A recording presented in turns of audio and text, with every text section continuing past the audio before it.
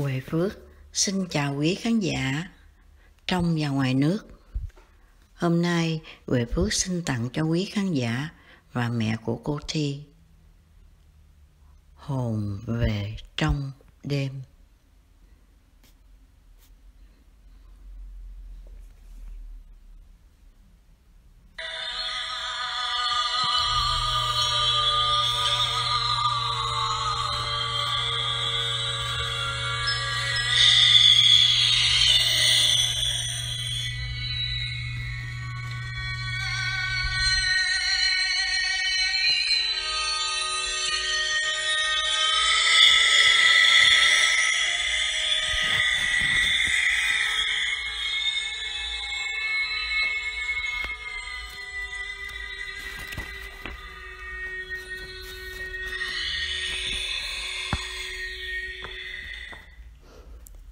Khi mặt trời đã tắt, bóng khói lam chiều tỏa ra ẩn hiện với những ngôi chùa. Giữa bầu không gian tĩnh mịch, tiếng chuông chùa, ai đó đã làm tỏa ra lúc trầm lúc bổng, thiết tha, nhung nhớ đến thắt lòng. Ký ức đã ngủ yên, bỗng như con chim trời nổi dậy, đập đôi cánh vang rộng kêu thanh thốt vào giữa vùng nhớ của ngày xưa. Tiếng ngân nga huyền hoặc ấy đã truyền tải trọn vẹn một thông điệp sâu nặng của một linh hồn vào cõi chết.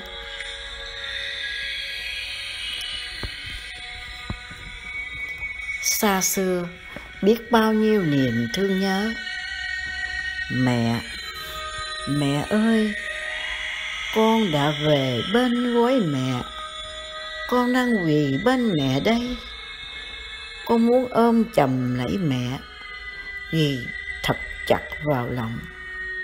Nhưng mẹ ơi, con không thể, con không thể mẹ ơi, vì con không còn hình hài của mẹ và cha đã ban cho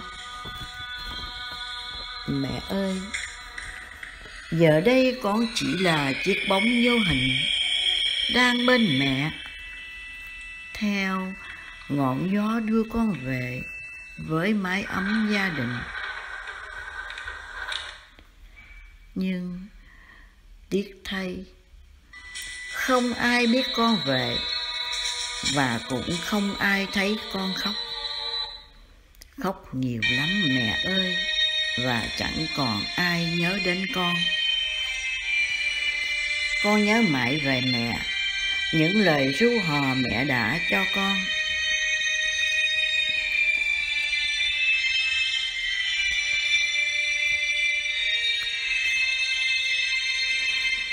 Vang xa sâu nặng nghĩa tình Mẹ hát con nghe những ngày thơ ấu Bé Ngày xưa khi còn nghèo rách rưới, Hay ốm đau ở xứ sở quê nhà, Anh em vẫn tình cảm mặn mà.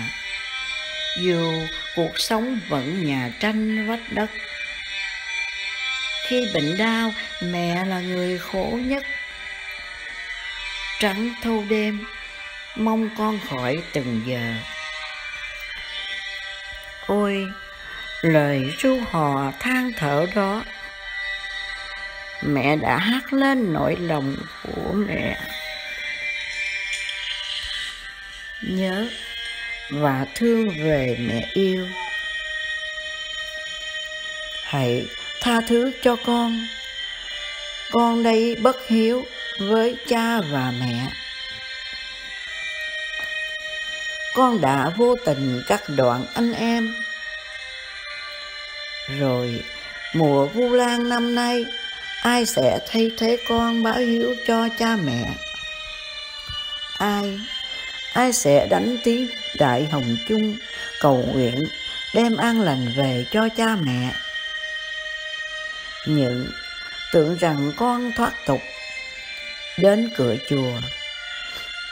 Hàng ngày, theo tiếng kệ kinh, gõ từng tiếng chuông tiếng mọ tâm tư con lắng chìm trong chánh niệm.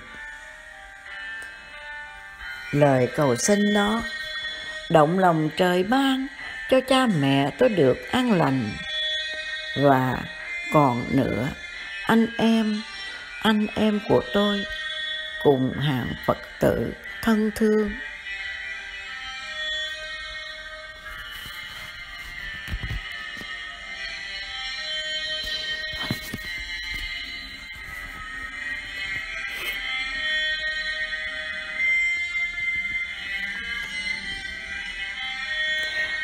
Áo của anh. Cứ truyền nhau như thế. Sống an lành, trong hạnh phúc ấm êm. Con thật xót xa xót xa lắm mẹ ơi. Giờ con đang đứng đây, với chiếc bóng vô hình. Con không thể ôm chầm lấy mẹ. Than thở rằng con đã chết oan tiếng kêu oan, than khóc, cầu xin người ấy. Hãy tha cho tôi, hãy tha cho tôi. Tôi có tội tình gì, hãy để cho tôi sống, để cho tôi trở về bên gối mẹ. Nhưng loài thú dữ nó hung hăng tàn bạo, nó đã cố tình phải giết chết được con con thật sự bất lực. Và nỗi cô đơn, con kêu cầu cứu.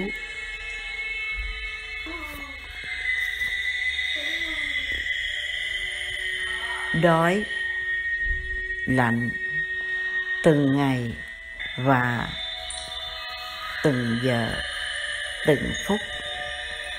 Họ đã nhốt con, nỗi lo sợ sau cánh cửa tử thần với một niềm hy vọng nhỏ. Cầu xin có ai đến? Cầu xin có ai đó nghe? Rồi bỗng có tiếng chân nhịp nhàng đi đến. Con cố gắng lắng ngoài cánh cửa. Cánh cửa tử thần. Nhưng thất vọng mẹ ơi, vì tiếng chân đó đến, rồi lại đi hàng ngày hàng ngày như cũ. Ngoài cánh cửa tử thần con mạch nhòa dưới những chiều lá vàng rủ nặng. Dưới bóng đêm, thân thể con nằm ở cuối góc khu nhà cũ. Tiếc thay, con đã chết. Con đã ra đi, vẫn là một điều bí ẩn của loài người.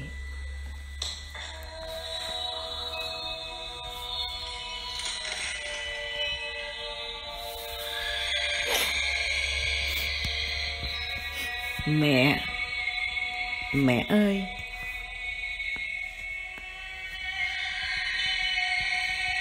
Con đang khóc. Và con đã khóc. Con xa mẹ thật rồi mẹ ơi, con đã xa mẹ thật rồi.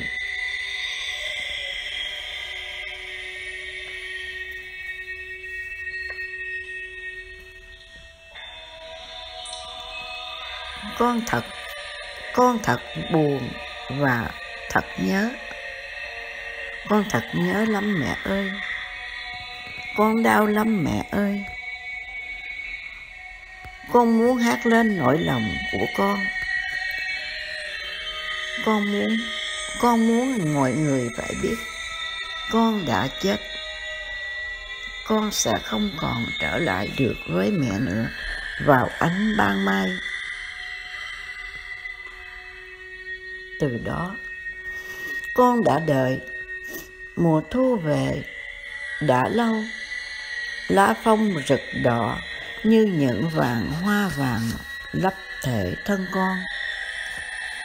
Nó có đậm đà và cũng có thể nhạt phai rồi quên lãng. Tạm biệt mẹ, cha.